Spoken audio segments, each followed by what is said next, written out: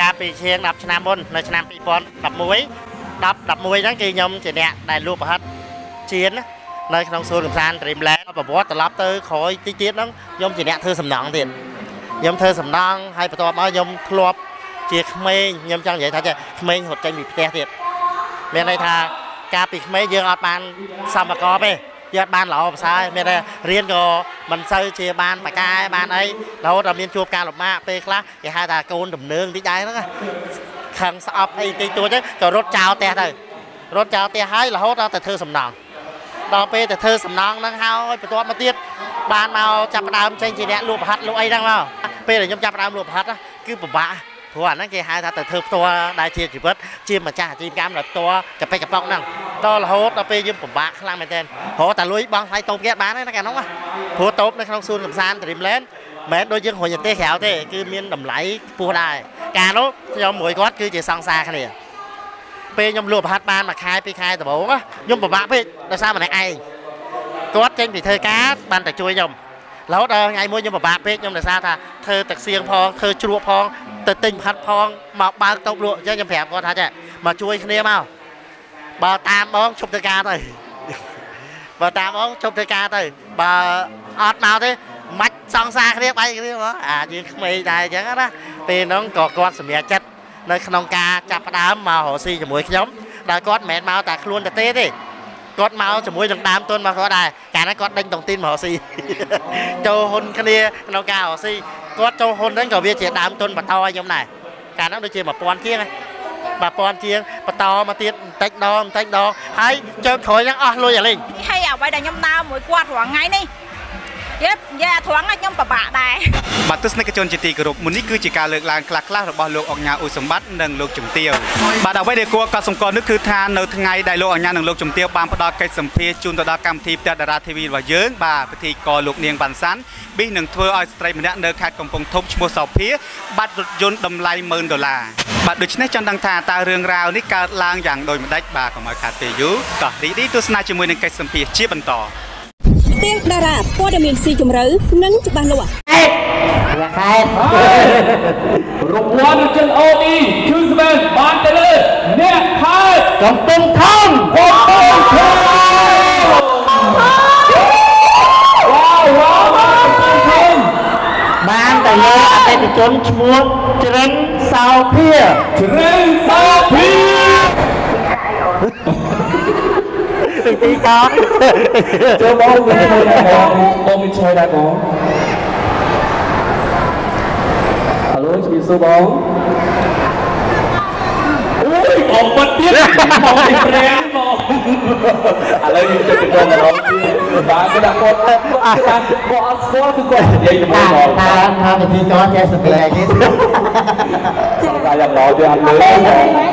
ទ គេដាក់គាត់គាត់គាត់អត់ស្គាល់គឺគាត់និយាយជាមួយបងថាថាពីទីកោចេះសម្ដែងនេះតែយ៉ាងល្អយើងអត់លើឥឡូវឲ្យយើងទៅនិយាយជាមួយគ្នាបាទសង្ស័យគាត់លេងលើកហ่าតែឥឡូវឥឡ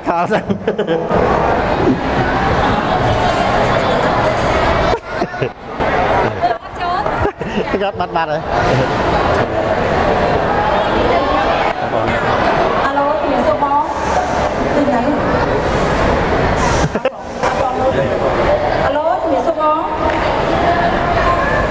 គាត់លេងនិយាយរហូតបាត់ទូរស័ព្ទរហូតអូបងលេងមែនទេណាលេងណា អូអាឡូសួរមក ឥឡូវ ទៅវិញទៅខោបងជាប្រេង អាឡូអាឡូជំរាបសួរបងអាឡូមកសួរចាចាជំរាបសួរបង មកហើយដល់ ខ្ញុំផងជំរាបបងមកសួរអូបងបងសាប់សម្លេងបងស្គាល់អត់បងអាឡូមកសួរចាបងបងសាប់សម្លេងបងស្គាល់ហ៎រចនាមែន រចនារចនាមែនពេលដែលគាត់ចុចបាត់ចុចបាត់ខ្ញុំថាអូប្រហែលជាត្រូវចាប់ឆ្នោតបន្ថែមទៀតហើយព្រោះថាប្រហែលជាគាត់បោះបង់ណាតែមិនមែនគាត់បោះបង់ទេគឺមានន័យថាគាត់មានការប្រុងប្រយ័ត្នខ្ពស់ដោយសារតែពេលនោះពិធីករគាត់បានខលទៅគាត់សួរថាបងនៅណាអីនៅណាហើយនៅចន្លោះពេលដែលម៉ោង9យប់ហើយតែខលទៅអញ្ចឹងមិនថាយើងថាគេក្រាច់ចាញ់មកគេដែរព្រោះឥឡូវនេះមានការបោកប្រាស់ជាច្រើននៅលើប្រព័ន្ធគេហៅថា social ហ្នឹងឬក៏តាមប្រព័ន្ធបច្ចេកវិទ្យាហ្នឹងអ ញ្ចឹងគាត់មានការប្រុងប្រយ័ត្ននេះគឺល្អមែនតើរង្វាន់រថយន្តអូឌីដ៏ស្រស់ស្អាតបានស្វែងរកឃើញម្ចាស់រួចមកហើយប៉ុន្តែគាត់ព្យាយាមចេញបាត់ដោយសារខ្លាចជនខលខូចបោកប្រាក់គាត់អីចឹងណាចាពេលហ្នឹងខ្ញុំមានអារម្មណ៍ថាអូយបងហើយបងហ្នឹងហើយស្ដាយស្ដាយហើយក៏មានអារម្មណ៍ថាប៉ុនក្នុងចិត្តថាបងហើយសុំលើកទូរស័ព្ទទៅហើយនិយាយព្យាយាមនិយាយមកកាន់ខ្ញុំចាដើម្បីខ្ញុំផ្ដល់ព័ត៌មានលម្អិតទៅកាន់គាត់វិញតែដោយចៃដន្យក្រុមការងារបានមីសេទៅកាន់គាត់ចា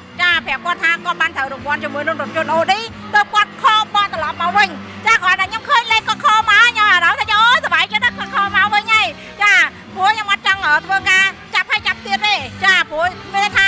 សំណាងគឺពិបាកស្វែងរកមែនតើហើយពេលដែលចាប់ចំឈ្មោះអតិថិជនយើងមួយមួយគឺជាតាមពិតសំណាងយើងចង់ផ្ដល់ជូនទាំងអស់តែធ្វើម៉េចរង្វាន់មានតែមួយចឹងហើយ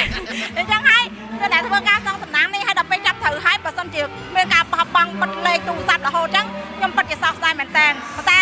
តែឥឡូវនេះអត់ទេគាត់ក៏ព្យាយាមខត្រឡប់មកវិញហើយក៏រីករាយជាមួយនឹងអតិថិជនផងយើងដែរដែលបានត្រូវរង្វាន់ហើយបាទកន្លែងនេះសូមឲ្យពុកម៉ែបងប្អូនទាំងអស់គ្នានៅពេលដែលមានអ្នកណាខទៅម្នាក់សូមកុំតន់អាសន្មត់មានន័យថាអូអាចតែគេឆោបបោកយើងឬក៏អាចនឹងអីឬក៏គេនាំសំណាយើងកុំតន់អាគេមានន័យស្ដាប់រកហេតុរកផលតែពេលដែលគេប្រាប់ថាត្រូវរង្វាន់ពិតជាត្រូវរង្វាន់មែនអត់យើងមានយើងមានដាក់រង្វាន់មែនអត់ពិតប្រកបមែនអត់អញ្ចឹងយើងស្ដាប់ហេតុស្ដាប់ផលទៅព្រោះបើសិនជាបិទ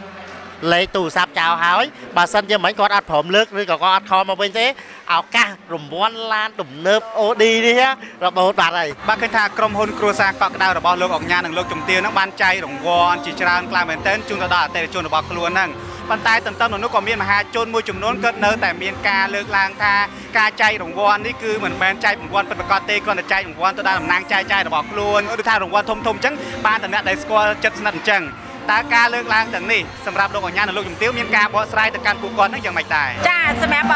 អឺមិនតទាំងអស់នេះគឺតែងតែមានដែរហើយខ្ញុំក៏ធ្លាប់លើកតកាជាដែរចាពេលខ្លះតែជនខ្លះក៏គាត់អញ្ជើញមកអឺគេអដ្ឋានរបស់ខ្ញុំធ្វើការជាក៏ស្ដារង្វាន់ហ្នឹងដាក់ជូនប៉ិតអត់ចាហើយរង្វាន់ហ្នឹងតើប៉ិតជាឲ្យអតិថិជនមែនអត់ចាហើយខ្ញុំតែងតែបញ្ជាក់ទៅកាន់គាត់វិញដោយទំនុកចិត្តនិងស្នាមញញឹមថា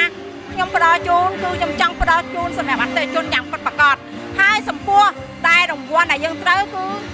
ត្រូវចាំអតិថិជនរបស់យើងចាំប៉ັດប្រកាសឲ្យពុកម៉ែបងប្អូនអាចដល់តាមដានតាមរយៈនឹងការ live របស់នៅក្នុង page របស់ក្រុមហ៊ុនគ្រួសារកក់ក្ដៅចាអញ្ចឹងហើយកន្លែងនេះអឺក៏ចង់អឺផ្ដល់ជូនជាទំនុកចិត្តទៅកាន់ពុកម៉ែបងប្អូនដែលតែងតែមានមន្ទិលសង្ស័យទាំងអស់នេះព្រោះធម្មតាឯងគាត់តែងតែថាគាត់ធ្លាប់ឃើញអឺកន្លែងគេនេះក៏ធ្វើអញ្ចេះកន្លែងនេះធ្វើអញ្ចឹងតាំងពីជំនាន់ណាជំនាន់ណាមកអញ្ចឹងណាអញ្ចឹងគាត់តែងតែមានមន្ទិលសង្ស័យប៉ុន្តែអ្វីដែលយើងមើលឃើញភាពជាក់ស្ដែងជាមួយនឹងអតិថិជនរាល់ថ្ងៃនេះគឺថាគាត់តែងតែទៅទៅរង្វាន់ហើយអ្នកចាក់ខាងគាត់សួរថាគេឲ្យប៉ិតអត់ហ្នឹងណាចាដល់ពេលគាត់មកទទួលទទួលរង្វាន់ប៉ិតហើយគាត់ថាអូហ្នឹងគេឲ្យប៉ិតមែនអញ្ចឹងពួកគាត់អឺគាត់តែងតែត្រូវហើយគាត់តែងតែណែនាំបន្តបន្តនៅក្នុងភូមិស្រុកគាត់តែម្ដងចាសម្រាប់រង្វាន់ម៉ូតូក៏ដូចជារង្វាន់ឡានសេរីទំនើបនេះ តើអឺលោកអង្ញានិងលោកជំទាវផ្ដល់ឲ្យគាត់ផ្ដាច់សិទ្ធតែម្ដងឬមួយក៏ខាងក្រុមហ៊ុនមានមានលក្ខខណ្ឌអីតម្រូវឲ្យពួកគាត់នឹងត្រូវធ្វើយ៉ាងម៉េចធ្វើយ៉ាងម៉េចដែរឬមួយក៏ក្រុមហ៊ុនអាចដកហូតយកពីពួកគាត់វិញទេចង់បញ្ជាក់ថាយើងគឺផ្ដល់ឲ្យគាត់គឺផ្ដល់ឲ្យគាត់តែម្ដងយើងមានបិទសិទ្ធទេសំបីតែលក្ខខណ្ឌដែលថាប្រើប្រាស់ឬក៏គាត់យកទៅលក់ក៏ខ្ញុំអត់បិទសិទ្ធដែរព្រោះខ្ញុំដឹងថាចេះជីវភាពរបស់មនុស្សផ្សេងផ្សេងគ្នាហើយជាពិសេសដោយសារតែផលិតផលរបស់ខ្ញុំគឺជាផលិតផលឱសថហើយសិតតែអ្នកឈឺដែលមកទិញរបស់ខ្ញុំអញ្ចឹងពេលខ្លះជីវភាពរបស់គាត់ក៏អាចជួបការលំបាកដែរអញ្ចឹងខ្ញុំអត់បិទសិទ្ធនៅក្នុងការតតែត្រូវតែយកទៅប្រើប្រើរយៈពេលប្រហែលអីទេគឺមានន័យថាគាត់អាចប្រើប្រាស់ទៅតាមការចាំបាច់របស់គាត់ឃើញថានៅក្នុងថ្ងៃនេះលោកអញ្ញានិងលោកជំទាវបើកសម្ពោធជាផ្លូវការតែម្ដងនៅឱសថយិនសិនកំពង់តូចឃើញថាក៏មានការចែករង្វាន់ជូនដល់អតិថិជនច្រើនផងដែរអត់ចង់ឲ្យលោកអញ្ញានិងលោកជំទាវជម្រាបពីប្រវត្តិឱសថនេះបន្តិចមកថាដំបូងឡើងមូលហេតុអ្វីបានជាលោកអញ្ញាសម្រេចចិត្ត យកផលិតផលមួយនេះមកចរាចរណ៍នៅលើទីផ្សារកម្ពុជារបស់យើងក៏ដូចជាចង់ដឹងថាតើប្រភពឱសថនេះមកពីប្រទេសណាដែរឱសថយិនសិននេះគឺយើងនាំចូលមកពីប្រទេសថៃបាទជាឱសថមួយដែលមានគុណភាពនិងប្រសិទ្ធភាព100%ដោយសារតែខ្ញុំគឺជាអ្នកដែលប្រើប្រាស់ផ្ទាល់ដោយសារតែខ្ញុំមានបញ្ហាគៀបសរសៃចង្កេះរាប់ឆ្នាំមកហើយដែលខ្ញុំមានប្រវត្តិនៅក្នុងការដួលម៉ូតូគឺមានន័យថាខ្ញុំធ្លាប់តែព្យាបាលនៅដល់វៀតណាមធ្លាប់ព្យាបាលនៅប្រទេសកម្ពុជាយើងរហូតដល់មានការ គេហៅថាហាវះកាត់ផងឬក៏ប្រើឧបករណ៍ជាច្រើនរហូតដល់ទៅព្យាបាលគេឆក់គេឆក់ខ្ញុំចូលម៉ាស៊ីន scan ចូលអីហើយជាបានគេស្ទើរឆក់ដើម្បីដាស់វាអញ្ចឹងខ្ញុំចង់បញ្ជាក់ថាអ្វីដែលយើងឆ្លងកាត់នោះគឺវាឈឺចាប់រាប់ឆ្នាំរហូតដល់ខ្ញុំអាចនិយាយបានថាចេះបរោះបរោះដែលមានបញ្ហាគៀបសរសៃចង្កេះមានបញ្ហាអសមត្ថភាពផ្លូវភេទខ្សោយអញ្ចឹងនៅក្នុងសម្ព័ន្ធភាពប្តីប្រពន្ធណានឹងជួបបញ្ហានឹងមួយតែអ្វីដែលខ្ញុំទទួលបានពីអសតយិនសិនគឺជួយ បាននៅបញ្ហានេះគឺយើងអត់មានចុករយមានបញ្ហាចែហើយសុខភាពបរិសុទ្ធហ្នឹងណាវាល្អប្រសើរចាអ្វីដែលគ្រួសារខ្ញុំគាត់លើកឡើងមកហ្នឹងគឺជាការពិតមែនចាសម្រាប់បងបងបរោះដែលគាត់បាត់បង់សមត្ថភាពផ្លូវភេទចាគាត់អាចជ្រើសរើសបានជាមួយនឹងអសុទ្ធយិនសិនបើសិនតែមានតែប្តីខ្ញុំម្នាក់ក៏ខ្ញុំបានហ៊ាននិយាយទៅលើទីសាធារណៈដែរប៉ុន្តែអឺ មានអតិថិជនជាច្រើនដែលគាត់ឲ្យជាលទ្ធផលត្រឡប់មកវិញក្រោយពីគាត់ពិសាជាមួយនឹងអសុទ្ធយិនសិនឃើញថាគាត់មានភាពប្រសើរ feedback មកប៉ិតប៉ិតតែម្ដងចា30ខែកញ្ញាឆ្នាំ2023យើងនឹងមានការចាប់រង្វាន់រថយន្តមួយគ្រឿងទៀតរង្វាន់រថយន្ត Forting ដែលជារថយន្តស៊េរីទំនើបឆ្នាំ2023នឹងមិញគេសួរមិញខ្ញុំសូមលាក់តែឥឡូវនេះខ្ញុំសូមប្រកាសតាមសារព័ត៌មានខ្ញុំដោយសារថាជឿជាក់ថា ផ្ទះតារាផ្សាយបានទលំទលាយហើយខ្ញុំចង់បញ្ជាក់ថាឱសថយិនសិនអង្គការសម្បត្តិនេះមិនមែនតែយើងផ្ដោតទៅលើរង្វាន់ទេបាទគឺអ្វីដែលយើងផ្ដោតនោះគឺលើគុណភាពនិងប្រសិទ្ធភាពដូចជាជំងឺទឹកនោមផ្អែមកម្មវិធីខ្លួន មានបញ្ហាគៀបផ្សៃគឺមានបញ្ហាកាពះពោះវៀនមានបញ្ហាកម្រងនោមមានបញ្ហាដុំគីនិងមានជំងឺជាផ្សេងទៀត ដែលគាត់កំពុងតែឈឺរ៉ាំរ៉ៃឬក៏គេហៅថាប្រើប្រាស់អ្វីហើយវាមិនមានប្រសិទ្ធភាពឬក៏ចិត្តគាត់អាចជ្រើសរើសឱសថយិនសិនអង្គការសម្បត្តិនេះយកទៅប្រើប្រាស់និងទទួលបាននូវគុណភាពនិងប្រសិទ្ធភាពដូចអ្វីដែលខ្ញុំបាននិយាយយ៉ាងគឺនឹងទទួលបានផ្ទះតារាព័ត៌មានស៊ីជម្រៅនិងច្បាស់លាស់